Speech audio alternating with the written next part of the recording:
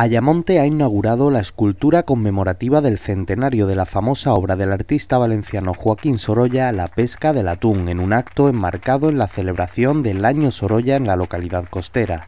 Joaquín Sorolla se quedó prendado, se quedó maravillado y enamorado de nuestras puestas de sol y si las plasmó tan bonita en esa colección que era Visión de España, que está ese cuadro, La levanta de los atunes, la pesca del atún está en Estados Unidos, en Nueva York, y bueno, tenemos un trocito de nuestro Ayamonte, un trocito del sur de España allí en Nueva York.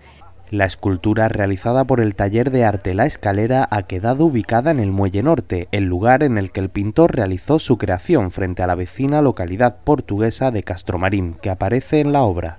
Y es muy, muy emocionante, la verdad, sí. Y para mí venir a Ayamonte, que es la primera vez, además, y para este acto es, es lo más. Junto a la alcaldesa de Ayamonte, Natalia Santos, la biznieta del artista Fabiola Lorente Sorolla y los responsables de la escalera al acto han asistido los descendientes del marinero Francisco, retratado por Sorolla en la pesca del atún.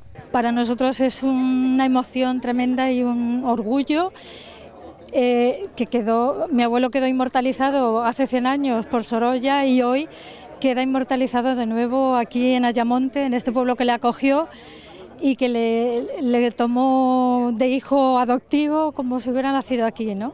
Y para la familia es muy importante y nos sentimos muy emocionados y, y muy agradecidos por este, por este acto tan bonito que se ha preparado. Sí.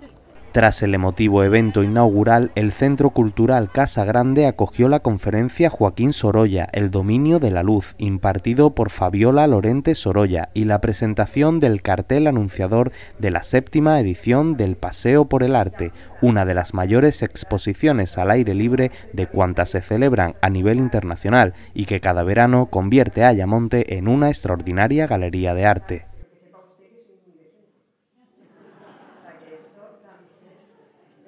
También. Eso me lo contaba la familia